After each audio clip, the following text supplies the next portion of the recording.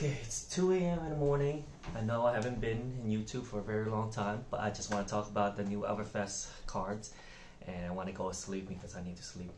So, Spring Tidings, a Benji specialization. Thank you, LSS, for making this card. Another two attacks and get to draw. Oh my god, this card is amazing, a majestic. Right. And you get to draw for every two base that has been in this com that I control in this combat link. And it doesn't even have to be, let's just say you pumped it to three or something. It still counts. You can draw and the the possibility endless of Benji. I'm a die-hard Benji fan.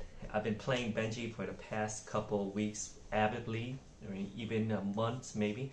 But I remember starting Dabble on with Benji back in the skirmish season one, where people were just writing off Benji. And I'll, I'll talk about more about my Benji deck tech before prior to Everfest, but how people are falling into the Benji trap, which makes Benji good and also bad. But let's hear her. So that's spring tiding. Uh, this is gonna be one quick take, and I don't want to edit anything. I just want to do this and quickly. But I just realized it has the same exact border as a regular ninja card. I thought specialization cards have uh, the Mysteria border or the, the border that um, wherever that hero comes from from their lore, just like how um, Dor- Dorinthia has that gold thing around her border for her steel blade supremacy and singing steel blade. Uh, what you call Katsu has the Mysteria thing with uh, Lord of Wind and Mugenshi release. Even Ira with her Whirling Mist Blossom has a Mysteria border, but Benji has a regular generic uh, border, which is nothing crazy. It's just a minor detail. So I'm just uh, wondering, did LSS make that mistake because they rushed it and they forgot? Hey, Benji is also a, a hero from Mysteria. Why doesn't he get that same border treatment? All right. So that was it. Uh, that was it. And then the second one I just saw right now, where Hundred Wind is a rare, and also it came with. Let's see, what was the third? What was the second one? Um, let me look. Let me look. It's gonna be all one take. Oh yeah, it's Winds of Eternity, another majestic with attack for two. It's sort of like Find uh, Find Center for attacks for two, which I'm gonna include in the thing. But the Winds of uh, Hundred Winds is something that I'm gonna be replacing Head Jab with, because if it's yellow, attacks for two, blocks only for two, but has a go again and it has a combo. So that works with Flic Flaks. So before the head jab only blocks for two, and uh, what you call it, I add that because it gives a, a goal again. But this one with 100 win, it attacks for two, blocks for two, but if I have flic flak in there, I could that could potentially box for four instead of two like a head jab. So, and then it casts a combo. Man, the possibility endless right now. My head is blowing my mind. I'm already deciding. If you look down here, I'm gonna just show you quickly. I'm already deciding what I'm gonna take out from my Benji deck and everything. And I'm looking up here on my screen. All right, so that's uh, that's what I'm gonna be doing. Oh my God, I, I have actually never been this excited for a set to come out because now I'm Benji's finally getting the support that he need. And I and given I already just finished a, a little casual blitz tournament uh, armory, very small, but I already uh, found out a way to already beat Dorinthia and Bravo with the Benji deck that I have right now because I just beaten a Dorinthia and a Bravo, all right. And I was able to play because I played against them a lot. And now, now imagine with Everfest coming out. Of course, they're gonna be getting their own supports too, but Benji's gonna be such more uh, such a crazy threat because of these cards. Well, who knows? I gotta play test it more and more. But let's go on to the next uh, thing I want to talk about. The second half is um, a little bone to pick with LSS after this is uh, Louis from Kitchen Table TCG. He did not get a spoiler card because I don't know why. I think it's because LSS thinks that he hates the game, he's trying to kill the game, and that he's been pumping MetaZoo.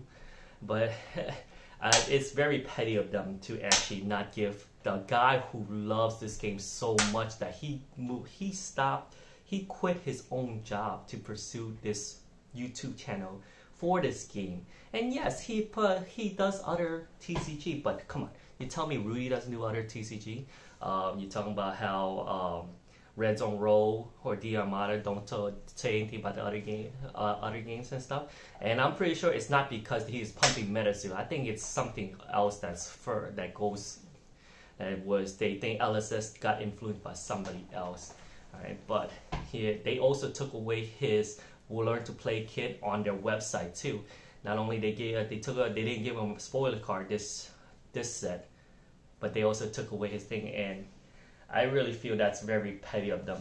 Very petty, petty of you, LSS. All right, and I think I know the reason. One of, might be the reason why he didn't get it. Something along where he, somebody, some other content here, thinks he was harassing girls, but it wasn't him, and uh, he mistaken that content creator mistaken him for somebody else on the Wall Street uh, Discord channel and um, LSS might have picked that up, thought that he was the one harassing people, and they, they think that that's not a correct behavior. Which, if it was him, I would I would agree with LSS. Yeah, you don't do that. But it actually wasn't him; it was another person, which I'm not going to name names.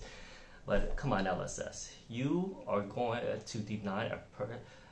Think about what this does to him. Like he's a very positive guy I'm not trying to like suck his dick or anything, uh, but he's he he is one of the most positive guy about this game. He's all for the game and everything, and like being a positive community. And I freaking hate that word community because a lot of people use it in the wrong way.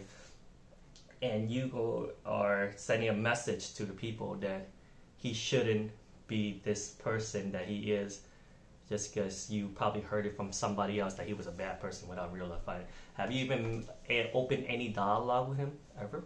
No.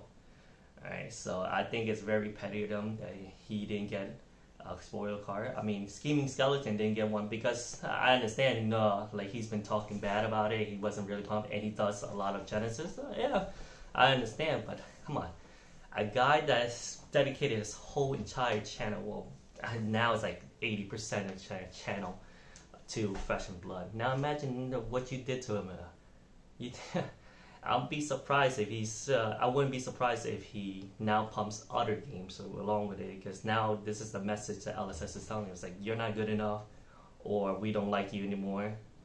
Forget about all the things that you've been doing. And I really hope Louis doesn't take this the wrong way or take this negatively and influence his love for the game because I know he still loves this game for the future and he continues making great content for Flesh and Blood. And uh, hopefully they'll give him uh, a spoiler for the next set. That's all I gotta say. I'll talk more about why I've been missing for a while in the next thing, but that's it for me.